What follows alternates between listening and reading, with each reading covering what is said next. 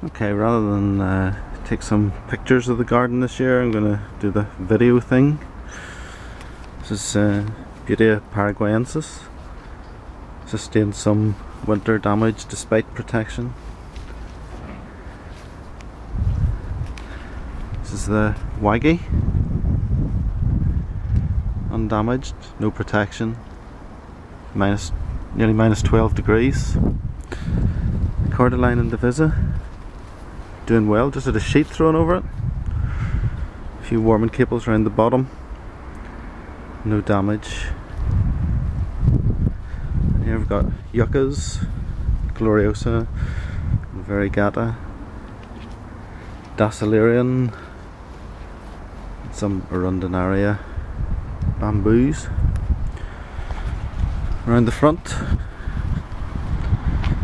it's rostrata.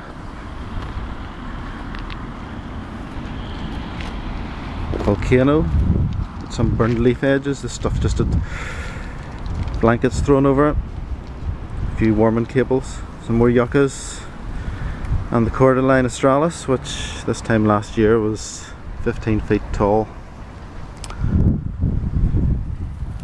Trachy and the big jube of course. Chickened out in this one and I put a mini greenhouse over it damage there. Big trachy again no protection no trackies at any protection. All perfectly okay. As was this one small waggy. And over here we have uh, larger waggy. Again no protection. This is the uh, Eriospatha still soldiering on. A few warming cables around this one but really just a sheet after that. And no no damage other than uh, other than the fact that it's never really looked particularly good in the first place. Butia capitata minor damage but again just a blanket thrown over it. Sabal Minor uh, never does well here, it's just not hot enough for it. These are the variegated uh, cordyline, just started coming back in August. And again this time last year it was 8 feet tall. So. Chamaerops humilis, some damage there.